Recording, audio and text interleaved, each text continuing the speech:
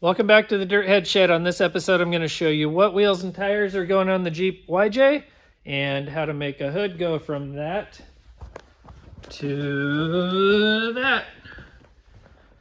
This one's going to have some cool tips and tricks on custom paint.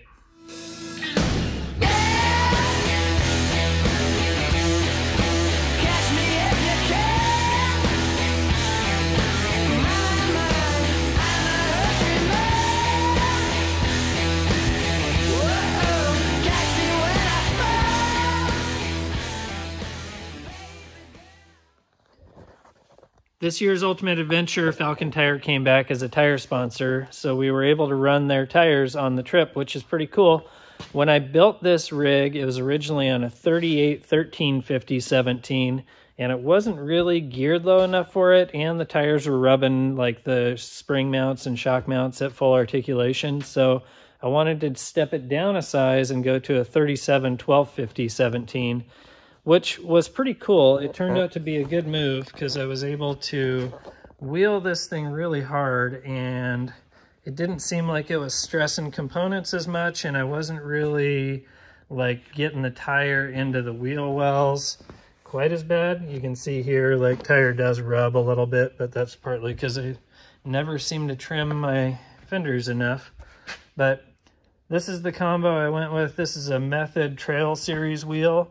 Um, I'll show you a little clip. They have this bead grip technology where it's kind of got these little biting edges that help hold the tire onto the wheel better. So you kind of get beadlock style performance, but in a simple wheel that doesn't have all the extra bolts and moving parts and all that stuff. So this was a pretty good setup.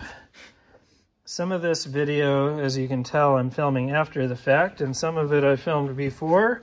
But that's really because I did a really bad job of filming and documenting stuff ahead of time. So this is the tire and wheel package, and obviously you can see I put these things to work. Jeez, it really looks like I just can't drive very well. And that's probably kind of accurate.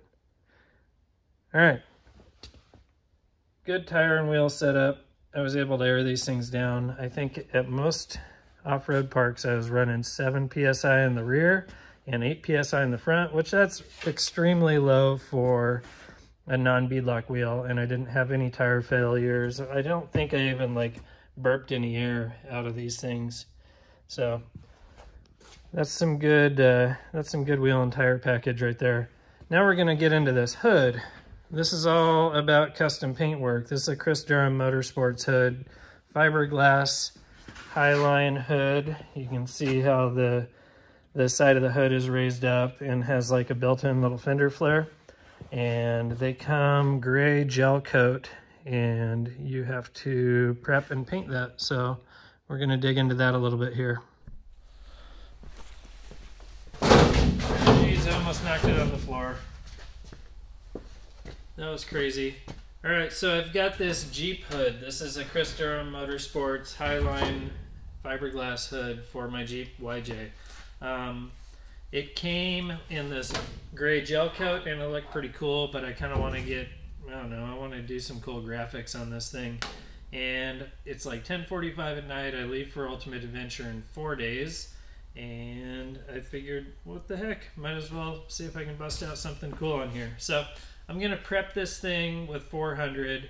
I'm not getting too crazy on I'm not doing any body work. I'm just gonna scuff this thing up and we're gonna shoot it and see what we can come up with. I have a paint cabinet full of materials over there. So hopefully if all goes well, this will be sort of a tribute to Dirt Every Day because I didn't get a chance to paint this thing while we did the episode and this was the last rig ever to be on Dirt Every Day. So I want to do sort of a tribute there, and I want to, I don't know, I just want to do some cool stuff. So I'm going to scuff this thing up. I'm going to shoot it silver tonight so that hopefully tomorrow my buddy will come over. Hopefully he comes over. Uh, I've got a friend who's a pretty cool custom painter, and he was going to swing by and show me some tricks. So we'll see if that happens. If not, I'll be doing it on my own, and we'll see where we end up. So should be a pretty fun one. I got to scuff this thing and get it in silver before I go to bed.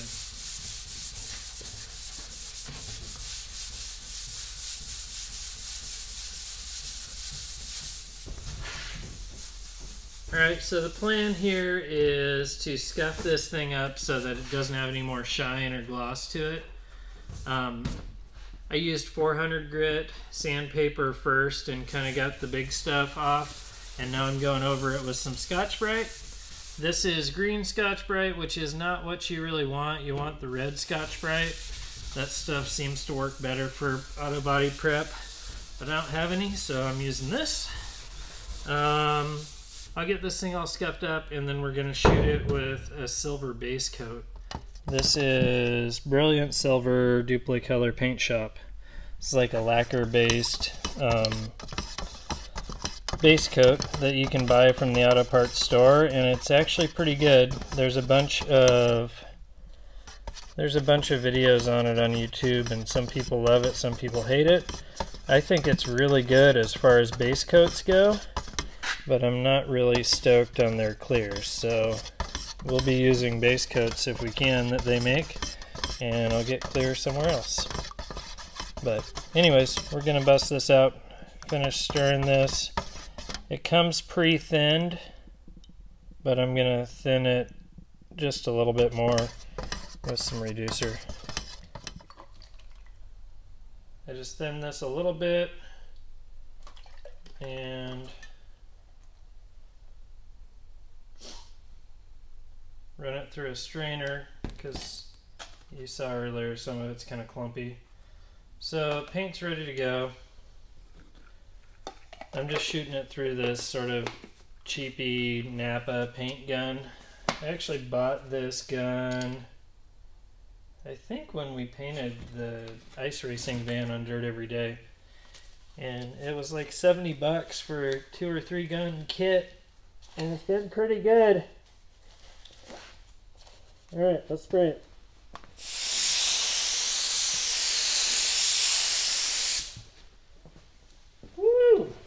That stuff is shiny.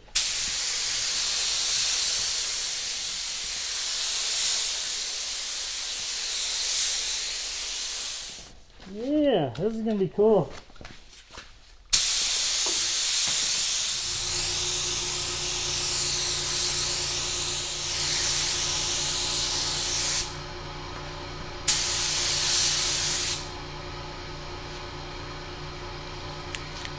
It's looking really good. I'm stoked, dude. Alright, the silver base is down and it looks really good.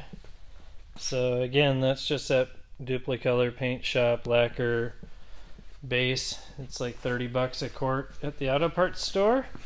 And we'll come over here to my router table slash mixing table. And we're going to be doing some clear coat.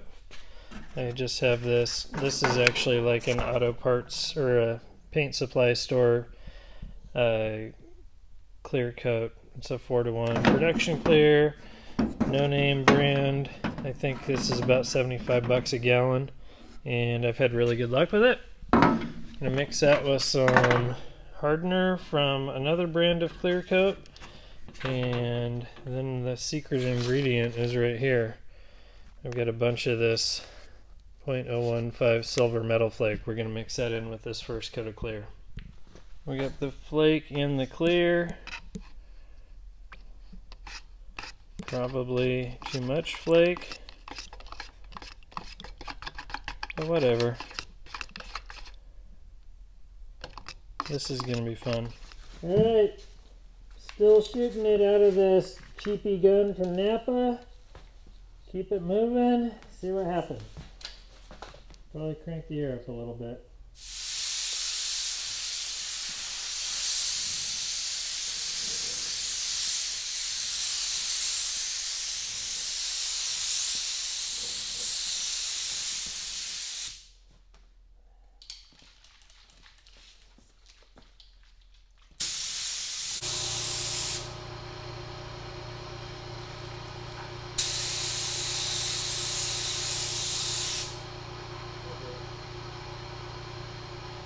problem.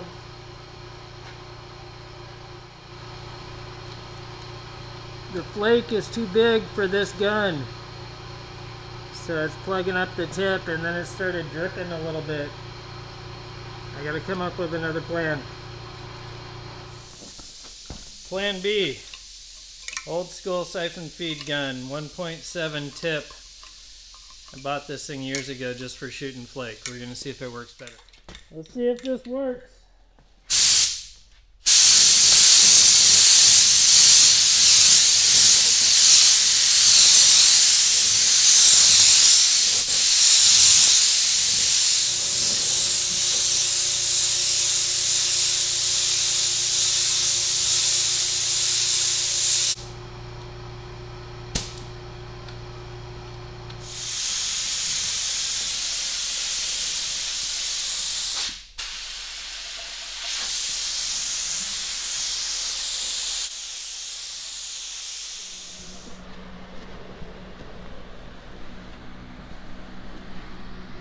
Alright.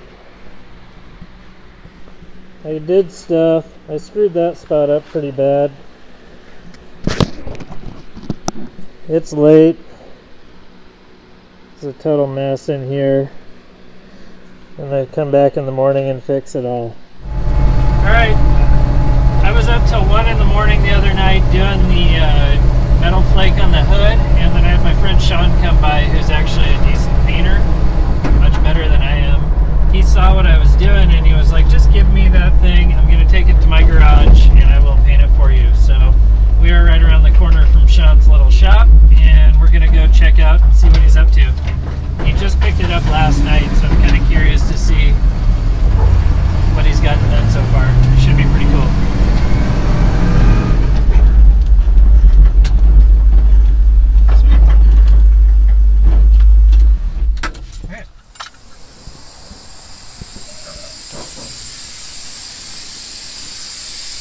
Hi, Hi. Oh, dang. Oh, he's getting down on some crazy town tear-off graphics and whatnot. Sick! You can see right here where I totally botched the paint. I dropped like a cup of reducer and flake on it. it's pretty sick. Yeah, so Sean came over last night and he was like, um, what'd you do here? You need to just drop it off with me and we'll fix it up. So I think everything here. I think it's gonna be pretty rad. So cool. Here's where I got to hand it off to Sean. Um, I screwed up the base coat with the flake and the clear. I would like got a big old blotch on one side where like the the flake like splashed out of the cup. Um, so it was time to hand this thing off to Sean. You can give him a follow on Instagram. He is Paint by Snax. That's S N A X. He's an old school BMX rider. He's a really good painter and he's becoming a pretty good friend of mine. So he really saved my bacon on this thing. And you can kind of see how it all went down. He did a base coat of yellow on the sides and then he he sort of blended that in with a candy yellow up to a tearaway like graphic, which is pretty killer looking. Um, this is really neat in person because there's actually metal flake that you can see through this yellow, but if you go over here, there's like nothing showing through on it. So it's pretty cool. And then the centerpiece of the hood is really what blew me away. Um, I knew that I wanted this walking checker pattern. Uh, this is sort of an old technique that I've seen done a handful of times and I wanted to try it. This was something I really wanted to try, but uh, Sean was like, you know what, I can make this happen. So he he did the candy red walking checker and candy green walking checker over here. And then the centerpiece right here is just amazing. This is like the typical dirt everyday stencil pattern, but he took it one step further with all the shadowing on it. And then he went and did this drip. Um, it's sort of like a water droplet candy pattern on it. And there's a shot in here where he's showing you how he like lays water on and then puts the clear on it, candies the clear, and then blows with the air gun to create this like moving drip pattern. It's amazing. And then there's candy gold over the top of the silver to give that, that look there. And then he took this stencil this this was just an old Ultimate Adventure logo. I actually gave him one of these stickers and he used that as a paint mask and created this thing, which is amazing. This part right here looks like it's jumping off of the hood when you see it in person. And it's also got the water droplets, candy red, candy green over that silver flake. So this whole thing just turned out amazing. Oh, and then I cracked the hood when I forgot to latch it and it smashed into the windshield. That was cool. Sorry, Sean. Um, yeah, the whole thing turned out good. There's a run there. This he did all of this work and I think it was like a day. Part of it on his lunch break, part of it at night after hours. So the whole goal of this was to come up with a piece that I could hang on the wall in my shop and have something up here or over here, spice the place up. And I think we did it. You'll notice from the first part of the video, I have another hood. This is gonna get painted yellow and it'll go on the Jeep. This one's gonna get hung up on the wall so that I can keep an eye on it forever. Thank you guys so much for watching. I hope you learned something. I hope you also saw that making some mistakes is really not the end of the world. Um, go out there, paint something cool, learn something new, try something different. Just have fun with your rigs. Um, I love doing this kind of paint work. I can't wait to try more of it in the future. And I'm just totally stoked to have this awesome piece to hang on the wall now. Thanks for watching this Dirthead Shed. We'll see you next time.